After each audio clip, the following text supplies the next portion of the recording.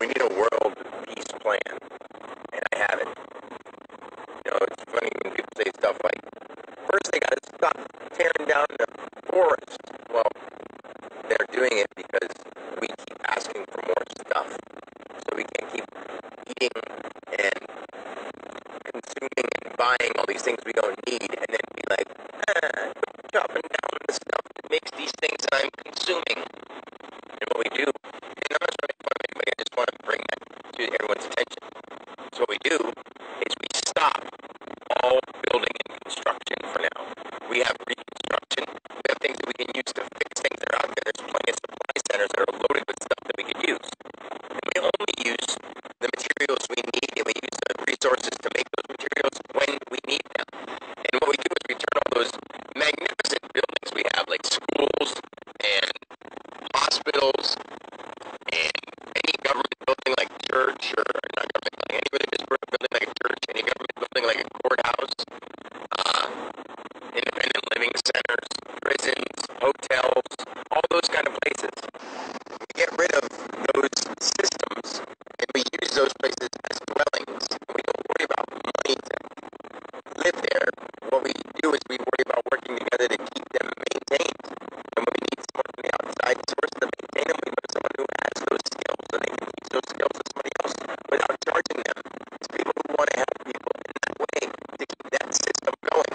So the schools and the churches, they can practice their own stuff in homes and they can have gatherings. They can use those those churches and those whatever still for other for gatherings. They're same things if they want to believe in them and follow them. But when it comes to the consuming, the the charging money for residents, charging money for anything, any any home, any church, any building should be available. And I guess the way that they have them uniformly constructed makes sense because if everybody wants a flashy, nice house, then that means more consumption.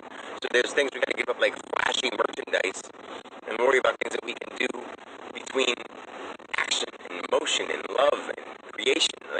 Have to. We can use like things like the cameras and all the things we have. We can use video and we can use the screens and all the things we have.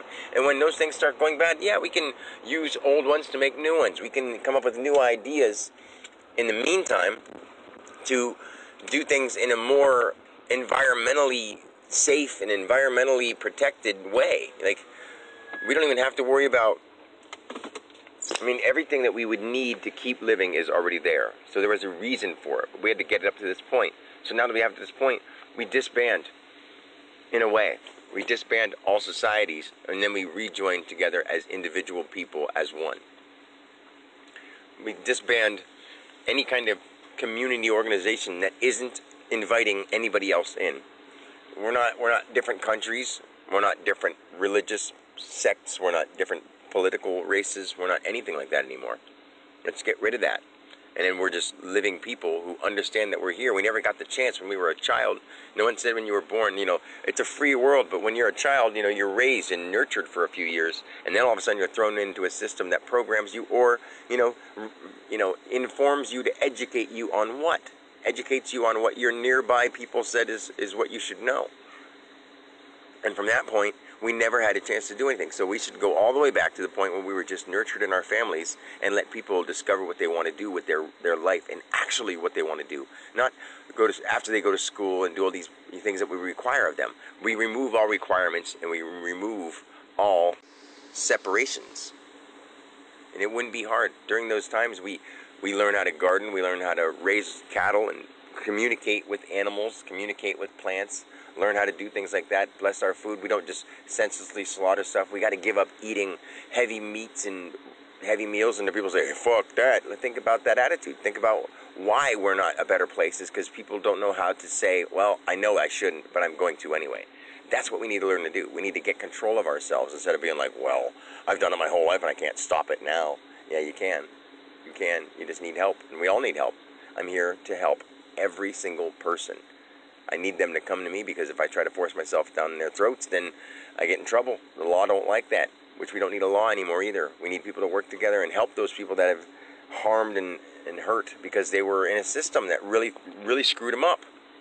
And they never had a chance. So maybe they can be reformed. If not, we might have to do what we have to do with those people, keep them around their families, and if they start keep doing things like that, we have to keep them under control somehow. We have to, but we can't just maybe we'll get tranquilizer darts for loved ones. I don't for, uh, for that can administer when they need to. I don't know, but we'll have and, and, and a healthy kind of tranquilizer. I don't know something that we can do to to keep people out of all those institutional places and help them in a right way. If they don't have to worry about going out and making money to support their family and food is provided and shelter is provided, they're not going to want to steal and hurt and harm. And, and over that period of time, they're going to forgive all those wrongs, and even their mind, the way they're thinking, will change. And they won't want to kill and harm and have money and be flashy to be like, look what I have. I proved myself.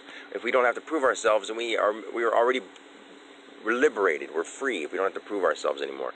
Proof is the only sin and proof, when people say that, they're like, well, when I say that to people, they'll be like, that makes no sense. What happens if, like, someone says, show me, and you show them? Like, in a personal sense, sure, show them.